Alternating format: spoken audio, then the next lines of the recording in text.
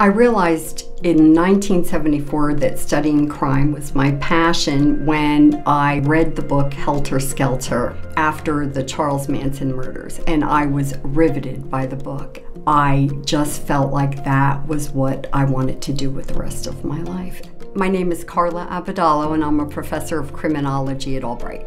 My area of expertise are the violent crimes, which really bode nicely with students. They tend to be the most popular subjects that students are interested in learning.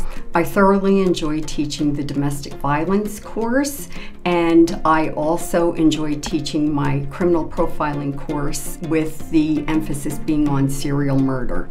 What I love about the curriculum is the courses that students do have to take were very carefully selected to give them a wide wide breadth of knowledge in the area of crime and justice and criminology, both from the perpetrator's standpoint and also from the victims, which is essential as well. I didn't have a traditional pathway to academia.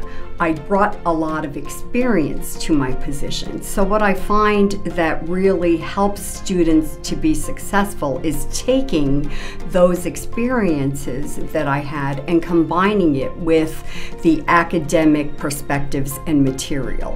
When students have the opportunity to see real life outcomes and apply the academic perspectives, that bodes better with them than simply reading about concepts that are more difficult for them to grasp.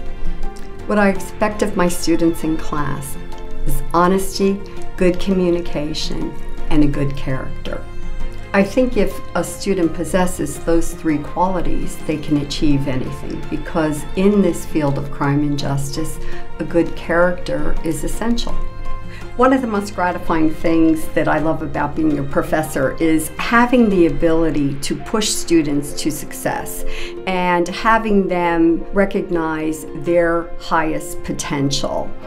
I always tell students, live your life to make a difference and stand up for something.